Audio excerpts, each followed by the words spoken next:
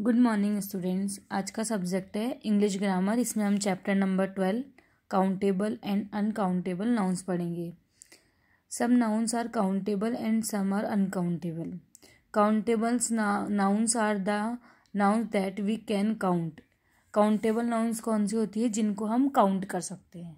और नाउन्स मतलब जो हमने अभी लास्ट चैप्टर में पढ़ा था नाउन्स के बारे में नाउन कौन कौन से होते हैं? Person places animals things birds इनको हम नाउन्स में इंक्लूड करते हैं।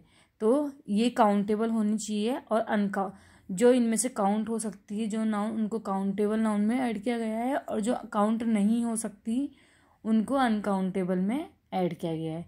तो जो थिंग्स होती हैं, अधिकतर वही होती हैं अनकाउंटेबल्स ठीक है? अब जैसे इसमें काउंटेबल नाउन्स के एग्ज़ाम्पल दिए हैं बनाना आइसक्रीम जैसे बनाना आपके सामने मैंने बहुत सारे बनाना रख दिए हैं। तो आप उनको काउंट कर सकते हो, आपके लिए वो ईजी होगा। इसी तरीके से अगर मैंने आइसक्रीम के आपके सामने कप रख दिए या आइसक्रीम का कोन रख दिया तो आप उनको काउंट कर सकते हो। ब्रेड के अगर स्लाइसिस रख दिया या ब्रेड का पैकेट रख दिए बहुत सारे तो आप उनको काउंट कर सकते हो। एप्पल भी आप काउंट कर सकते हो बैग काउंट कर सकते हो। डॉग हैं बहुत सारे तो डॉग भी काउंट कर सकते हो। Tree pear rose cup egg fish तो ये क्या है, सब काउंट जिनको हम काउंट कर सकते हैं। तो ये काउंटेबल नाउन हो गए, ठीक है? और ये थिंग्स में आती हैं, ठीक है? जैसे एप्पल हो गया बैग ये एनिमल में आ गया डॉग फ़िश एग कप ये सब थिंग्स में आती हैं। और कुछ एनिमल्स एनिमल्स में आते हैं, कुछ नाउन्स ठीक है? तो इनको हम काउंट कर सकते हैं, इसलिए काउंटेबल नाउन्स होती है। अब हम अनकाउंटेबल नाउन्स के बारे में पढ़ेंगे। Uncountable nouns are the nouns that we can not count जिनको हम काउंट नहीं कर सकते। मतलब जिनको हम वन टू थ्री रेशो में काउंट नहीं कर सकते, वो होती है अनकाउंटेबल नाउन जैसे रेन है, बारिश हो रही है तो बारिश को आप थोड़ी काउंट कर सकते हो। वो तो कंटिन्यू होती रहेगी होती रहेगी, उसमें कोई ऐसा पॉइंट नहीं है जहाँ पे अपन उसको काउंट कर सकते हैं। इसी तरीके डस्ट जो मिट्टी उड़ती है, धूल मिट्टी, आपने देखा होगा डस्ट उड़ती है तो उसको भी हम काउंट नहीं कर सकते। वुड लकड़ी को हम काउंट नहीं कर सकते। बटर मनी फ़ूड इनको भी हम काउंट नहीं कर सकते, ठीक है? जित, और जितने भी लिक्विड आइटम होते हैं, जैसे वाटर हो गया ऑयल ये मिल्क जूस ये सब हम काउंट नहीं कर सकते, ठीक है? इनको हम ऐसे थोड़ी ना, जैसे इसमें से आप कैसे वन टू थ्री का रेशो निकालोगे, ये काउंट नहीं हो सकती हैं।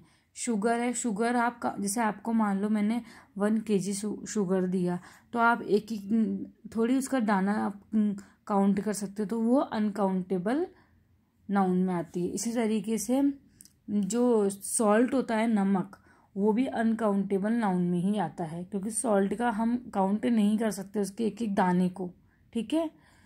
सैंड सैंड मतलब मिट्टी, रेत होती है जो, उसको भी हम काउंट नहीं कर सकते ओके तो ये इस तरीके से काउंटेबल और अनकाउंटेबल नाउन्स होती हैं। अब इसकी वर्कशीट है।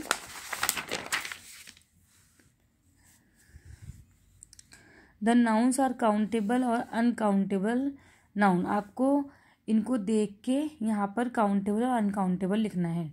जैसे कॉफ़ी है तो मैंने क्या बताया था लिक्विड आइटम अनकाउंटेबल नाउन में ही आता है।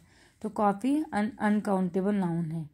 पीच पीच क्या होता है? एक तरह का फ्रूट होता है। तो फ्रूट हम काउंट कर सकते हैं। तो यहाँ पे सी आएगा, यानी कि काउंटेबल टी टी मतलब चाय।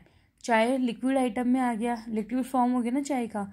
तो उसको हम काउंट नहीं कर सकते। तो यहाँ पर हम सी लिख देंगे। इसी तरीके से कोक है, वो भी काउंटेबल नाउन होती है। क्रीम कोक अनकाउंटेबल नाउन होती है। क्रीम अनकाउंटेबल नाउन होती है। प्लम प्लम भी फ्रूट होता है तो उसको हम काउंट कर सकते हैं। तो यह काउंटेबल नाउन आएगा।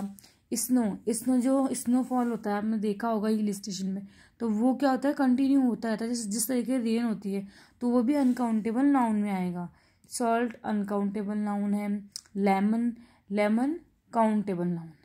अब ग्रैप्स है grapes uncountable lemon countable noun है ग्रैप्स अनकाउंटेबल नाउन है। आपके सामने बहुत सारे बंचेस रख देंगे तो आप उनको काउंट थोड़ी कर पाओगे इतने सारे ग्रैप्स को।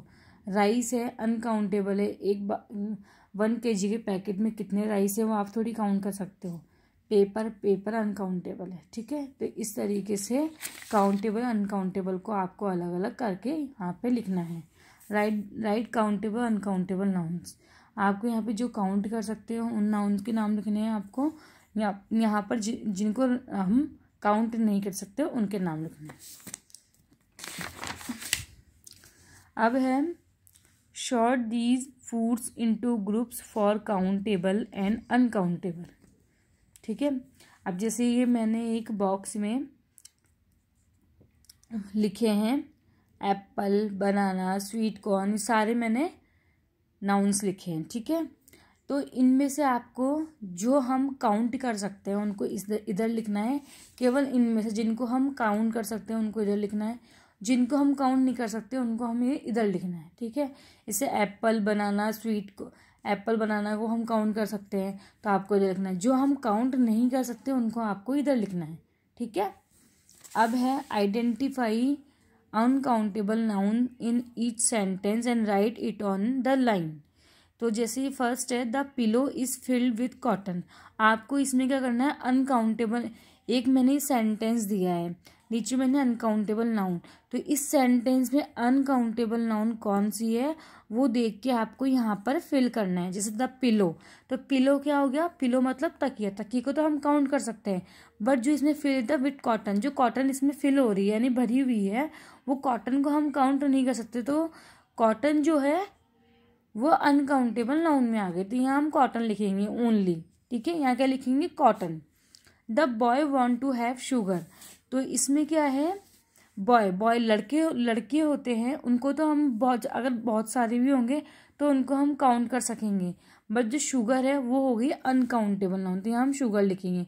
आई लाइक कॉफ़ी तो कॉफ़ी क्या हो गई? लिक्विड फॉर्म में तो कॉफ़ी अनकाउंटेबल नाउन ही सादा milk boiling in the pot तो इसमें मिल्क अनकाउंटेबल नाउन हो गया, यानी कि आपको वही नाउन ढूंढना है इसमें से जो अनकाउंटेबल है।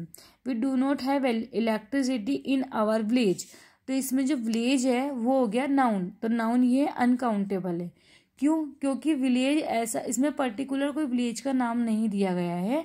इसमें आप कोई से विलेज का नाम दिया गया है तो ये अनकाउंटेबल नाउन में हो गया। ठीक है? क्योंकि विलेज बहुत सारे हो सकते हैं तो उनको हम काउंट नहीं कर सकते। इसलिए यहाँ पर विलेज आएगा। ओके इस तरीके से ही पूरा वर्कशीट आपको करना है। Thank you